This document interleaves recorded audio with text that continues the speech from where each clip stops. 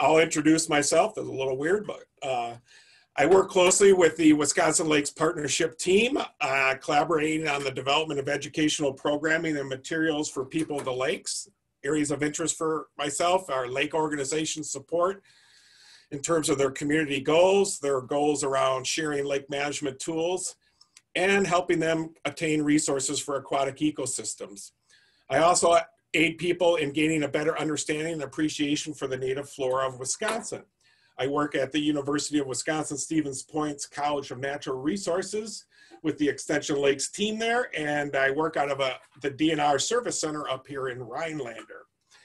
And what I'm going to share today is a program we're really getting close to uh, uh, rolling out. Uh, I know there's some folks who are probably on the phone have been waiting forever for this training to hit the streets, and we're, I'm, I'm happy to say we're getting close. So what I'm going to do today in this talk about the Lakeshore Habitat Restoration Training for Professionals is I will describe the seven modules that go into the training and the 21 uh, or 22 lessons that go with those modules. I'll describe some of the learning objectives around those modules and, and the, we'll talk through some of the themes and topics that those modules will include. I'll also share the timeline uh, as we adjust here. I have the hopes of rolling it out today with this talk, but uh, I have one more video I'm working on around native plantings that I need footage from once the snow uh, melts. So that video is coming and I hope to roll this out in late May or June. So we'll talk about that timeline and I'll talk about how you can get connected to the training by just sending me an email and getting in the queue so that when we roll this out, I can communicate to you the opportunity is out there and that the training is up and running. This training began in 2014 as a face-to-face -face training where our goal is to help give partners across the state a foundation to do sound and strong, healthy lakeshore restoration projects using the state grants that are out there with uh, DNR as well as with the Department of Ag, Trade and Consumer Protection. And then just some of the partnerships that go with that, that kind of work. And so the idea is to give folks who take the training a foundation to build on with a library of resources, connecting them to state standards and best practices, helping them understand some of the partners that come into play with pulling these projects off and so forth. And so we started the training in 2014 and had a couple hundred people take the training face to face over about four or five years.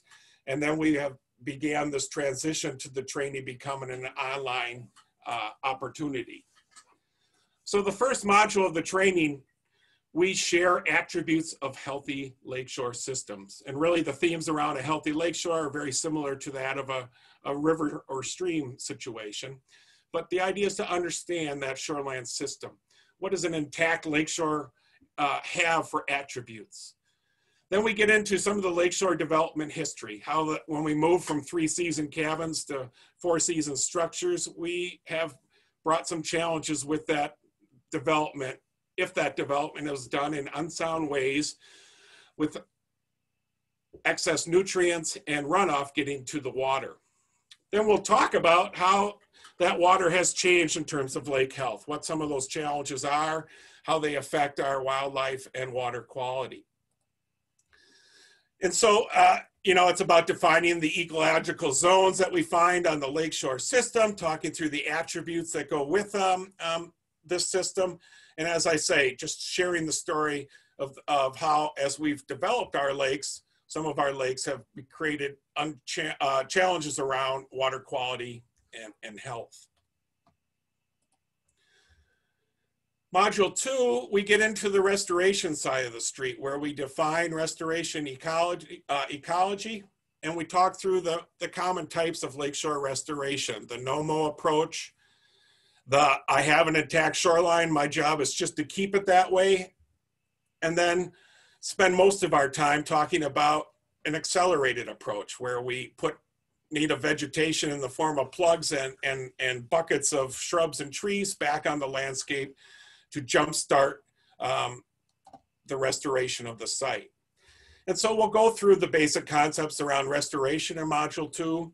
We'll talk about the successional trajectory that goes with lakeshore habitat restoration projects once that plant material gets in the ground. And we'll talk about the uh, uh, aforementioned uh, approaches to shoreline restoration out there. And then we'll spend most of the time digging into what a successful project with a lake shore habitat approach looks like. In module three, we get into one of the biggest challenges that we have on our shoreland systems and one that often brings landowners through the door to work on these issues, and that's erosion challenges. And so the module three works with one of our DATCP engineers that, from the Department of Ag, Trade and Consumer Protection, uh, Stacy Daney, who works in dozens of, or uh, uh, almost 20 counties up here in the Northwoods. And for a few decades now has been helping uh, counties and other partners work on erosion control challenges. And so the lessons involved with this module take you through the types of shoreline erosion we see on lakes and rivers. What uh, Stacy spends time on the slope and soil types, just getting us thinking about those aspects of the project.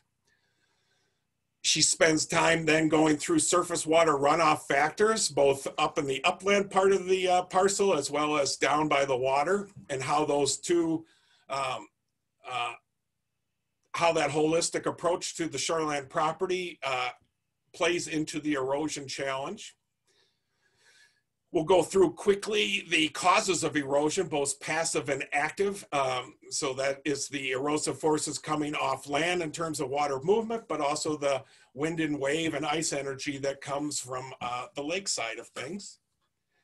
And then lesson 11 is techniques for controlling lakeshore erosion, where some of the best practices and common bioengineering types of erosion control are looked at. So uh, you see a picture of a water bar here. That's one of the best practices we can utilize in, addition to say a rock infiltration um, pit associated with the water bar. Instead of this dirty water coming down, making its way past the uh, cabin or home into the lake, carrying dirty water and sediment with it, a best practice like a water bar stops that water, slows it down, allows it to uh, find its way into vegetation like this forest or a rock infiltration area where that water can settle down and infiltrate.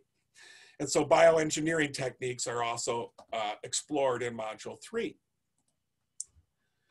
Module four, we get into the two big steps of looking at your site and, and thinking through the design and aspects that you learn from the site assessment that educates you to the conservation plan you go forward with for your lakeshore or river uh, restoration. And so we'll go through site assessment tips, uh, some of the things we want to pay attention to on the property, not just at the land water interface, but from a holistic whole property point of view. And then we'll dig deeper into the design considerations, including laying out a native planting. How do we space it? What are they? Where do we get the plant material from? What kind of site prep do we have to embark on? What are some of the tips and strategies that go with the installation of the plants themselves, like starting with the woody material first and then coming back and putting in your wildflowers? What kind of spacing and so forth? Lesson five, we'll dig in deeper. We'll talk about why we utilize native plants, definitions and ecosystem services that these native plants give us, uh, how they support wildlife and clean water.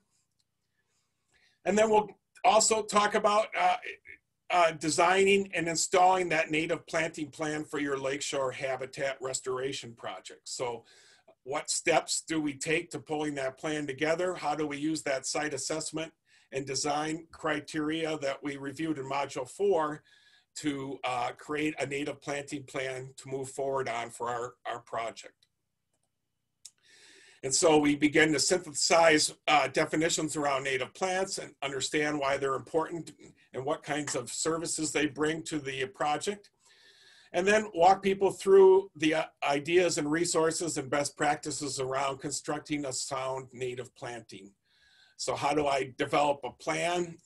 How do I create a species list for my site using the site assessment information I gleaned what, uh, how do I think about things like bloom time, wildlife value, the root structures that help from an erosion control point of view, Do I have a native community that I'm trying to restore specifically on my site? What strategies can I, am I utilize to reach the goal of, of um, creating a certain restored native community, for example? And then how do we work with those landowners? How do we take some of their goals and aspirations for the site and pay attention to those as we develop our conservation plan for the site? Module six helps us learn about the surface water grants that DNR has to support shoreline work. We'll also get into the Healthy Lakes and Rivers Initiative grant uh, that helps with five best practices around uh, water quality and creating wildlife habitat. We also learn from Department of Ag, Trade and Consumer Protection partners at the county land and water department level as well as the state level how that the rhythm of life goes with those projects and how that grant money hits the hits the ground to help uh, communities work with shoreline restoration. And then we'll get give you a primer on e-permitting how you engage in the e-permitting dnr uh, platform to uh, work through the grant or through the permitting side of the street and we'll uh, share just a short background information about shoreline zoning from a 101 point of view, just so that you have an understanding for what shoreline zoning is and how it plays into um, uh, these kinds of projects. And so uh, really it's about helping people connect to the funding opportunities that out there that are out there, some of the local partners, be it uh, Atlanta water shops, local uh, nurseries, uh, restoration consultants, uh, the team of people that you can pull together um, to help you create a successful project. And then the last module of the training uh, connects you to an annual field day opportunity that happens uh, with the Wisconsin chapter of the North American Stormwater and Erosion Control Association. That event happens up at the American Excelsior Training Grounds in Rice Lake uh, it starts off in the morning at Indianhead College there with um, some talks and uh, current updates from different partners. And then in the afternoon, we head over to the Rice Lake uh, campus of the American Excelsior Company. And there's different demonstration projects set up, different stations uh, where we talk about different aspects of this kind of work. And so it's really an opportunity to, for folks to learn more about some of the best practices that go on. Also, what ha typically happens at this session is erosion control product providers have their products there and are able to be consulted in a meet and greet kind of a way and have a station where you can learn about what some of those products are and how we can utilize them with these projects. And so that opportunity is um, uh, typically annually the third week of September and up in Rice Lake. And then the course ends should folks want to get certified. And what certified basically means is that you've taken the uh, 21 lessons of the of the course, and then uh, we have a 50 question multiple choice test that if you want to get certified, um, you can take that online test. And if you get 70% or better, you will pass the certification for the Lakeshore training. And so we invite uh, folks to um, uh, go to that training and then if they want to, uh, perhaps take the, the certification if they want to. You can email me to get on the email distribution list. This is going to be a Canvas-based web platform, so the uh, University of Wisconsin Extension uh, uses the Canvas platform for our online learning platform to the public, both external and internal audiences. And so that's the um, training that I've been learning the last couple months and I'm nearing uh, completion on getting that Canvas website created. But if you want to get into the rollout email that for June, just shoot me an email and I will add you to the list. As I say, Canvas is that platform the way it'll work is when you first come to uh, take the Lakeshore training, we ask first time online learners to create a username and password. And so the email that I will be sending out when the rollout happens is accessing that uh, starting process for accessing the trainings, including the Lakeshore training. It's self-paced. You go at your own tempo through the training. The idea is that you can take it at your um, leisure, one of the feedbacks we got when we did the training in person for the first four or five years is, especially for folks who work in the landscaping business, it can be tough to come to a training during the growing season. So hopefully putting this up online provides more access for people. The other hurdle that we've been able to uh, break down with the online learning platform is um, the cost of the uh, training will be minimal, if any. We might have some basic costs of five bucks to get that certificate, but instead of charging 150 bucks, it'll be pretty uh, obtainable for anyone. And we recognize that not everyone will be interested in getting the certification I mentioned. Some folks, in fact, when we did the uh, in-person trainings, we had about 200 people take the course and a good 25% of them just wanted to take the course to get the foundation to be a local lake co- uh, coordinator for grant projects or just they want to start shoreline work at the ground level in their lake or river community and just wanted to use the training as a springboard for background information and to create a foundation to go forward with.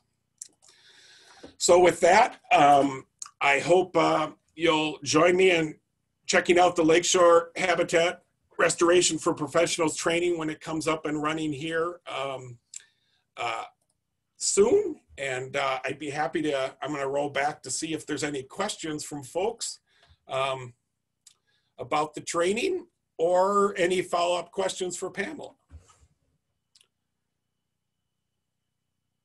And I don't see